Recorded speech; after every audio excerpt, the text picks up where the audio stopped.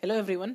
This presentation will be on dengue in pediatric practice. The presentation is made by the Indian Academy of Pediatricians 2015 edition along with some inputs from the World Health Organization guidelines for treatment of dengue. Uh, I will be focusing upon some newer advances in treatment in between as and where the changes are relevant. We all know dengue is a viral infection which is caused by a flavivirus belonging to Flaviviridae family. It's one of the top 10 leading causes of hospitalization and death mortality in children, contributing to almost 25,000 deaths per annum and globally 20 million cases per year worldwide. As clinicians, we should know the typical as well as atypical presentations of dengue fever that will help in both early diagnosis and treatment, identifying the complications early, and preventing complications from developing. Like I said, it is a flaviviridae virus. Uh, previously, literature showed that there was four subtypes. However, now scientists have found that there is a fifth subtype also and there is no cross protection between the different serotypes. The viral size is just short of 100 nanometer in diameter.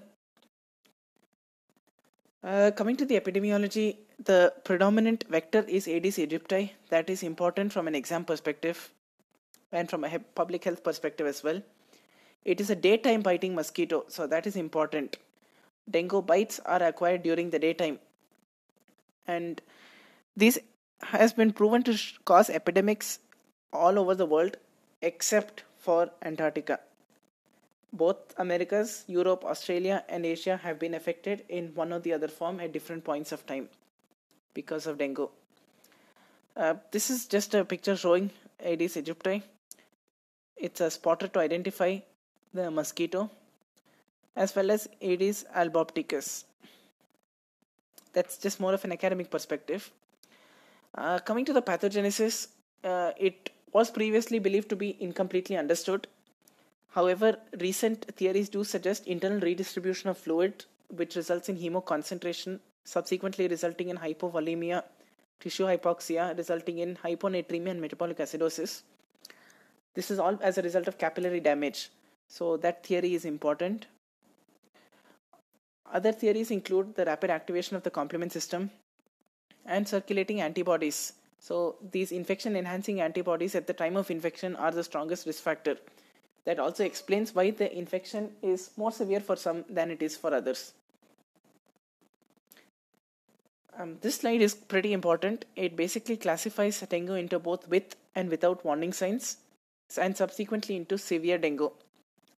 So when I come to with warning signs, we have something what is called probable dengue Probable dengue is where the person lives or has traveled to an endemic area, has fever along with two or more of the following nausea, vomiting, rash, aches and pains, tourniquet test positive, which is also called Hess test, leukopenia, and any warning sign, or lab confirmed dengue, meaning the NS1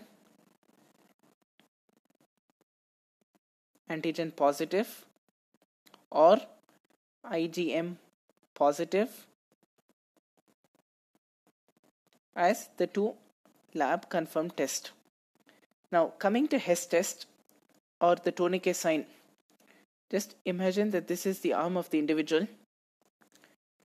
You tie a BP cuff, raise it to the systolic blood pressure, keep a bell of the stethoscope exactly in the cubital fossa. Imagine that is a cubital fossa and watch for petechiae. If you see more than 10, that is tourniquet test positive. More than 10. The bell of the stethoscope corresponds to 1 square inch. That is another point which is very important. That was probable dengue. Subsequently, we are looking at warning signs. The warning signs in dengue is nothing but abdominal pain or tenderness, persistent vomiting, clinically fluid accumulation. It could be either in the form of pedal edema, it could be ascites, it could be pleural effusion, mucosal bleed of any extent, generalized lethargy or restlessness, liver enlargement clinically of more than 2 centimeters palpable, and lab investigation of a raise in hematocrit which is concurrent with a decrease in platelet count. In dengue, we remember the rule of 20. 20% change in hematocrit. It could be either increase or decrease. Significance of that, we'll come to it afterwards. But for now, remember 20% either increase or decrease. And subsequently, a decrease in platelet count less than 20,000.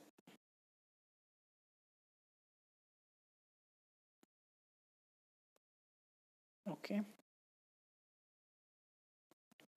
Okay. So that was dengue with warning signs. Moving on, uh, if we come to the entity known as severe dengue, the criteria for severe dengue is severe plasma leakage, which can result in dengue shock syndrome, there is shock, or fluid accumulation, which results in respiratory distress. Severe bleeding clinically, or severe organ involvement where the liver enzymes are raised into thousands. There is altered consciousness, or the patient has gone into multi organ dysfunction syndrome because of cardiac involvement. I'll highlight the top of the slide and spend a few minutes here one thing we should understand when we have dengue with or without warning signs. Dengue with warning signs is definitely likely to lead to severe dengue unless managed properly. Dengue without warning signs can also lead to severe dengue without manifesting as warning signs. What I'm trying to say is dengue, whether with or without warning signs, can result in severe dengue and must not be taken lightly. This graph is a favorite for all examiners from an exam perspective and it is a very easy and simple way to understand the pathogenesis of dengue. Clinically, we classify it into three phases as you can see highlighted at the base of the slide. First being the febrile phase, next being the critical phase, thirdly being the recovery phase. We'll go one by one. In the febrile phase, there will be a intermittent fever of high grade may be associated with chills, not always. Fever will come, it will be a high grade fever, responds only to medication, and it will subsequently drop. The critical phase is where the temperature remains stagnant. Rehabilitation phase, it is totally normal. As the name itself suggests, febrile phase, fever present. Critical phase, fever absent. Rarely may be febrile but usually absent, subsequently becomes normal. So we have seen the first parameter, namely that is the fever. Subsequently, there is a risk of dehydration during the febrile phase. That is okay, it can be corrected. I encourage the patient to take more oral fluids. It can be corrected if required, supplement by IV fluids. What is worrisome you can go in for shock or bleeding during the critical phase. Critical phase, critical issues, shock and bleeding is what we associate with dengue. Recovery phase, there is reabsorption. Whatever fluid has already gone into the cap because of capillary leakage will try to come back. If you're already overloaded with fluids, there will be a fluid overload. This is one point which I would like to highlight. Organ impairment is there both in the febrile phase, in the critical phase, as well as in the recovery phase. Okay. So, like I was saying, there is organ impairment possible in both the febrile phase, critical phase, as well as in the recovery phase. To the common man, dengue fever is synonymous with a fall in the platelet count. However, from a clinical perspective, we should consider both platelet as well as hematocrit. Hematocrit is nothing but the packed cell volume. So we will have a baseline hematocrit and you have a baseline platelet count. From a common man perspective, platelet count will be normal in the febrile phase. More or less, how much ever the baseline of that individual is, it will be normal. When we come to the critical phase, there will be a crash in the platelets in the words of a common man, there will be a crash in the platelet count. Nothing to worry, give reassurance. Unless it shows manifestations, no need to do anything purely on the basis of the platelet count. And once you reach the recovery phase, platelet count will increase once more. Coming to hematocrit, the hematocrit will be normal in the initial stage. Okay, sorry, previous slide. Before marking, I'll zoom in. So we have the febrile phase, critical phase, and recovery phase. The baseline hematocrit, we'll assume it to be 35. 35 to 45 is normal, but for assumption's sake, we will take 35.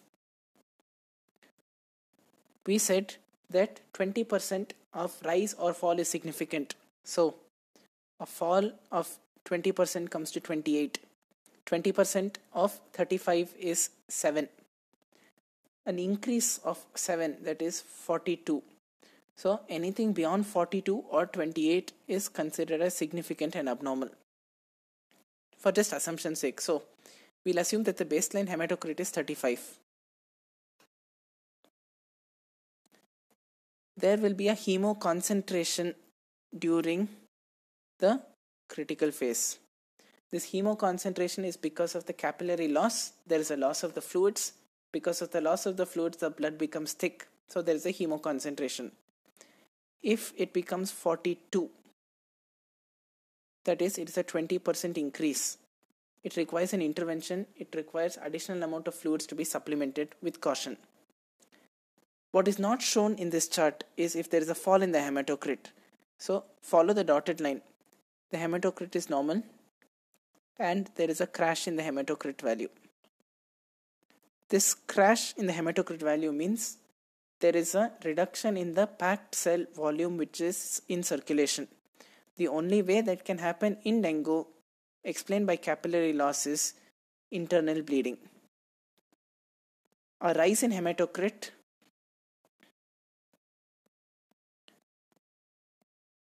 rise in hematocrit requires IV fluids.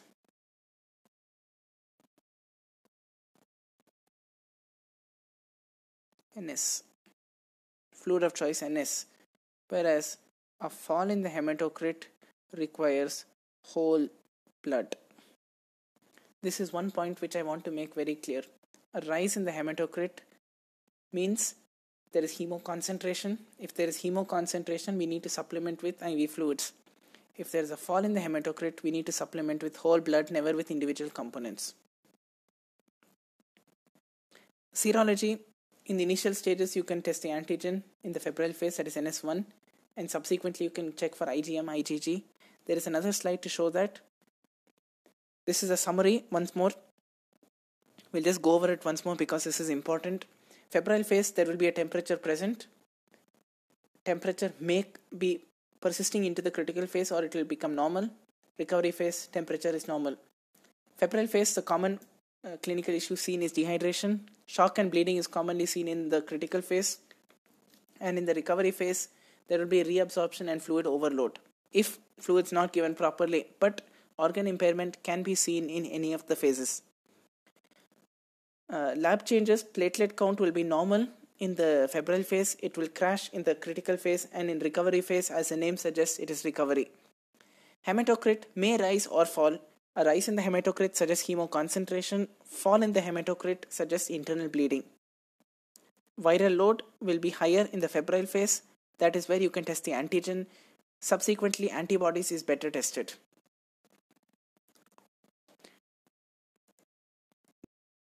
Continuing with the investigations in dengue, we have the baseline investigations which are done between the first and the fifth day of fever what is commonly done is NS1, which is non-structural protein 1. You have certain rapid tests as well as ELISA. The ELISA will take a day, whereas a rapid test will give its results in minutes. For the research purpose, you do have viral isolation based on mosquito cell culture and real-time PCR as well as immunohistochemistry also. But from a clinical perspective, NS1 antigen is most commonly done. From an entrance exam point of view, you should know that this antigen was discovered and is in use since 2006 coming to the antibody response, you have certain short term antibodies and certain long term antibodies as well. By short term antibodies, I mean it takes 5 days for production and subsequently will last for 2 to 3 months. That is nothing but dengue IgM. Whereas IgG is seen for past infections, which often takes months up to years. So that is IgG. So I repeat this once more. You have dengue IgM, which is a short term antibody, and dengue IgG, which is a long term antibody. The detection of which by ELISA will take around 1 to 2 days, whereas uh, neutralization will take 7 days. You also do have the card kit, which will give the response. If you have a person infected with dengue for the first time, the first time his production will be IgM, and that production will happen within 5 days. So 5 days is a cutoff at which you can start testing for dengue IgM.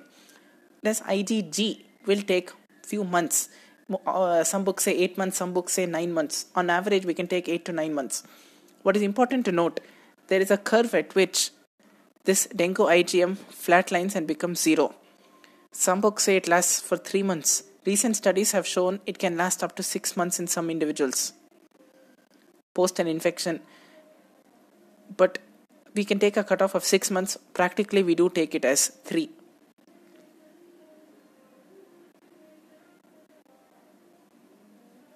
Whereas IgG is seen in a second time infection and the shoot up will happen often. So, if you have IgG present, then it means that the person was priorly infected previously. A dramatic shoot up of IgG will suggest that the person was infected previously. We'll go through this chart one by one. If an individual is NS1 positive, IgM negative, IgG negative, it means he's infected for the first time and the infection has happened less than 6 days back. Similarly, if he is NS1 positive, IgM positive, IgG negative, it means he's infected for the first time and the duration of the infection is more than 6 days. If he's NS1 negative but IgM positive, IgG negative, he is infected for the first time and it is more than 6 days. NS1 is sometimes negative in up to 30% of all cases of dengue and it disappears by 8th day of fever. So if you do the test on the 8th day, he will be IgM positive but NS1 negative. Likewise, if he is NS1 positive, IgM negative but IgG positive, then it is nothing but a past infection and there is no infection for the second time. If we consider a situation where all three are positive, that is NS1, IgM, IgG, all three positive, then it is a second time infection with a past infection also. Likewise, NS1 positive, IgM negative, and IgG positive is also a second time infection. IgG positive implies he was previously infected, NS1 positive implies he is currently infected. So, this table is very important. Moving forward, as far as case management is concerned, we do have a presumptive diagnosis in which he would have either gone to an endemic area or he lives in the endemic area and he has fever with any two of the following, namely anorexia, nausea, aches and pains, warning signs, leukopenia, tourniquet positive, or rash, like I mentioned in the previous slides. Warning signs being abdominal pain, tenderness, persistent vomiting, fluid accumulation, mucosal bleeds, lethargy, hepatomegaly, or rise or fall in hematocrit more than 20%. If any of these are positive, then we treat it as dengue with warning signs, which comes under group B. Group B meaning requiring hospital care.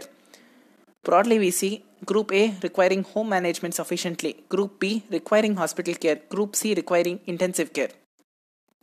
To call severe dengue, it means that he has warning signs with severe manifestations such as mu- large amount of mucosal bleed, large amount of internal hemorrhage, large amount of blood loss, vitals not maintaining will come under severe dengue. But if the individual is having, having none of these, but is able to take feeds orally, fever is subsiding, otherwise symptomatic, vital stable, dengue without warning signs, uncomplicated dengue, it can be managed on home management. But if coexisting conditions are there with other social circumstances which warrant an admission, he must fall under the group B category. This classification is important for the management of dengue fever. This table summarizes it once more. I will stress upon group C. Group C are patients in which the patient came in shock or fluid accumulation. When I say fluid accumulation in dengue, I am referring to pleural effusion, gross ascites, gross pedal edema, with or without respiratory distress, severe bleeding, or severe organ impairment going for multi organ dysfunction syndrome. Supposing we get the patient who is in compensated shock, then we initiate the intravenous uh, fluid therapy at 10 ml per kg over the first one hour. The fluid of choice is always and always normal saline, normal saline, and normal saline, unless proven otherwise. If improving over the next 1 to 2 hours, slowly taper. Slowly taper to 5 to 7, and then taper to 3 to 5, and then reduce to 2 to 3 ml per kg per hour, and subsequently allow oral feeds. So, like I was saying, the trick is you start it at 10 if improving reduce it to 7 if reducing if uh, sorry if improving go to 5 if further improving go to 3 and then allow orally. But if worsening you can go for a second bolus of 10 to 20 ml per kg. Up to 20 ml per kg is allowed for a bolus. A bolus in dengue is always to go over 1 hour. If there is improvement after the second bolus then reduce again to 7 again reduce to 5 then again reduce to 3 as in the previous one. But if there is no improvement and the hematocrit is continuously decreasing, then remember it is an indication of internal bleeding.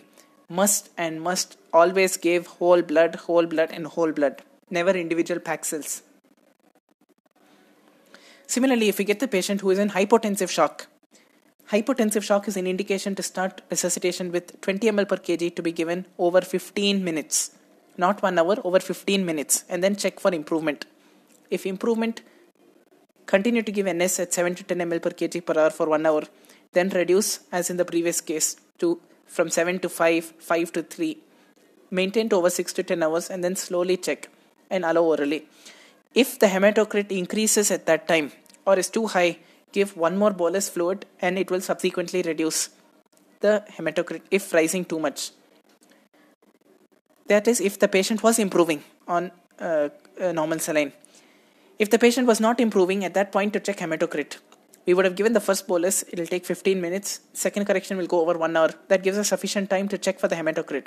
If the hematocrit is rising, then administer the second bolus over half an hour to 1 hour and check for improvement. If no improvement and the hematocrit is rising, continue to give fluids because hemoconcentration is happening, we want to dilute. But if the hematocrit has fallen below 20%, then check for signs of in, in uh, overt bleeding, check for signs of internal bleeding, and consider giving whole blood if necessary. If again by this time in, at the initial point itself the hematocrit was decreasing, initiate a whole blood transfusion because it means there is an internal bleed. When it comes to monitoring the shock state, uh, basically this is what we call as a dengue chart. What is important to check is a urine output the urine output target is always minimum of 0.5 ml per kg per hour. Always the target is to keep it as 1 ml per kg per hour. This is our target. If it is going towards 2, then reduce of IV fluids. If it is going below 5, increase fluids. It is going towards anuria. Vitals are to be monitored regularly. Apart from vitals, check for the peripheral pulses, check for the pulse volume, check for the pulse character, check for the BP we always want to maintain a 50th centile of the BP. Check for hematocrit every 6th hourly. And look for signs of pleural effusion and ascites. The best and best sign to check for pleural effusion is by basal creps on auscultation. So I'll just draw the lungs roughly. If this is the lungs and you're auscultating posteriorly, check for basal creps. Check for ascites check for pedal edema. These are all signs of fluid overload. The important thing is avoid a fluid overload because if you do consider the pathophysiology in dengue, because of increased capillary permeability, the fluids do come into the extracellular component. So, whatever limited fluids were there, if it all comes out, when the pathogenesis is settled, all this fluid will eventually try to come back at that point is when it will lead to a fluid overload. So, our aim is always and always to give adequate IV fluids, never too less and never too much. Similarly, hematocrit rise or fall, like I mentioned, is to be maintained at a target of 20%. I gave the example of target PCV of 35. A fall of 20% will come to 28. A rise will give a PCV of 42. So between 28 and 42, everything is normal. Anything above or below is abnormal and requires intervention. A decrease in hematocrit with unstable vital signs is an indication for action. Decrease in hematocrit suggests there is internal bleeding, must and must compensate with whole blood. Rise in hematocrit means that there is hemoconcentration. Hemodilution is to be done by giving IV fluids. Calculation is always to be given for the fluids for only 24 hours. Target is save the patient, keep the patient alive for 24 hours, and 24 hours reassess, recalculate. IV fluids must and must never ever go double the maintenance. Recent advance in a dengue conference held at Apollo Chennai in September 2019, a panel led by eminent Dr. Dr. Suchitra Ranjit has now suggested never go beyond one and a half maintenance. So, if the maintenance fluid for a 10 kg child comes to 1 liter per day, never ever go beyond 1.5 is the recent advance what the experts suggest. Similarly, to identify respiratory distress early and uh, any patient with dengue go for a chest x-ray. If it shows pleural effusion start on a colloid early. If it's showing pulmonary edema give a diuretic early go for fluid restriction. Like i mentioned never ever give over amount of iv fluids never give under amount of iv fluids and always maintain the pulse volume. Clinicians it's a common dilemma what we do face as to knowing when to stop iv fluids definitely. The definitive signs and symptoms to stop iv fluids are features of intravascular compartment overload hypertension with a good volume pulse breathing difficulty with pulmonary edema or 48 hours after complete tapering and defervescence if you look at the complications of dengue fever as a whole, uh, fluid overload is definitely iatrogenically induced. Uh, respiratory distress and failure is again because of the fluid overload. Multi organ dysfunction of the liver, kidney, and neurological system is because of the complications associated. It can be because of the pathogenesis of the virus itself. It can also be because of the uh, fluid pathology, where the, there is a shift between the extracellular and the intracellular components. Severe bleeding and DIC is a complication of the disease itself, and it is the most important uh, complication to watch out for. It is the most common warning sign which is known to the public. It is the most common warning sign which we look for. Prolonged and profound shock is another complication. What can happen is the patient will be stable, vitals will be stable now. 15 minutes later, vitals can crash. So, that is another important thing to keep an eye on. As far as the prevention is concerned, uh, it is, of course, known that anti mosquito measures to be taken. Uh, insecticides are definitely used. People do prefer full uh, body covering at the time of the dengue season. While storing water, of course, keep a tight fitting lid. Uh, larvicides such as abate are used, sprays are used. Currently, a vaccine has been licensed called Dengvaxia. Uh, that is, of course, the recent advance as far as the vaccine is concerned. It is currently on trial in the Philippines. Uh, it will come to the market, we don't know when, but when it is safe we will see how best it can be used. Dengvaxia is the vaccine which is currently on trial. I thank you all for your patient listening. The purpose of this presentation was targeted at uh, medical students, undergraduate level, uh, postgraduate level for uh, brush up of the basics, and to an extent for the knowledge of the general public. As far as the general public and patient's perspective is concerned, this presentation cannot replace the advice of a registered medical practitioner. So, if any dengue related doubts or any diagnosed as dengue or suspected dengue, please contact your medical practitioner. This presentation is not a substitute for that. This is targeted from an academic perspective. Thank you all for your patient listening.